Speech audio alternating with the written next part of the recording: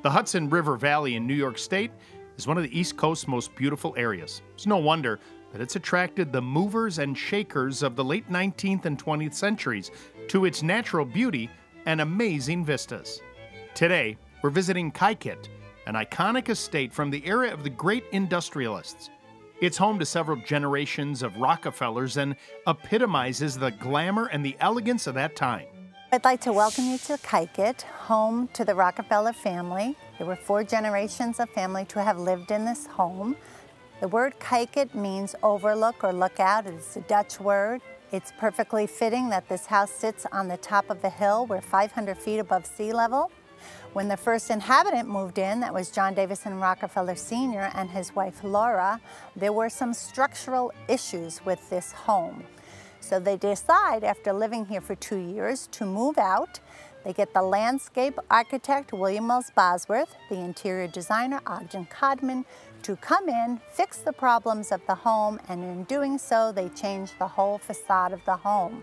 How they fixed the problems was to extend the roofline upward, you heightened your chimney so you didn't have the smoke any longer. The delivery service entrance was now covered over so that when the trucks came in in the morning, there was no longer any noise or view of those trucks. The architects wanted the home to look as if it had been here for generations, similar to the Roman temples where they had pediments and carved figures within those pediments. Junior then has them put in a replica of the statuary you would find at the Boboli Gardens in Florence, Italy. This is Oceanus. Oceanus is the king of the river gods. When Bosworth created these gardens, he created them as a series of garden rooms. The focal point of each garden was to be different.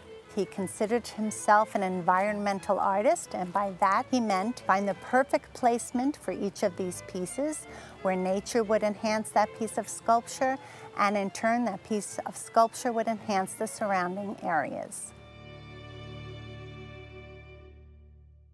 So each generation who came to live in this home added upon the prior generation as far as likes and interests in the home. The first large room that you're going to see is the music room.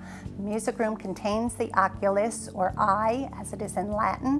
When that music played, the music would filter up to the second floor. The room behind me is the library. A lot of people in the turn of the century wanted a library in their home. The reason being it was a symbol of wealth and education, and he focused a lot of his attention in designing the room around the bookcase. The bookcase was given as a gift to Senior and his wife when he moved in by their son Junior. The office was used originally by John Sr. and Jr., and there they created what was known as scientific giving, philanthropy. Then when you walk across the hallway, you'll come to the drawing room, and that was the ladies' side of the home.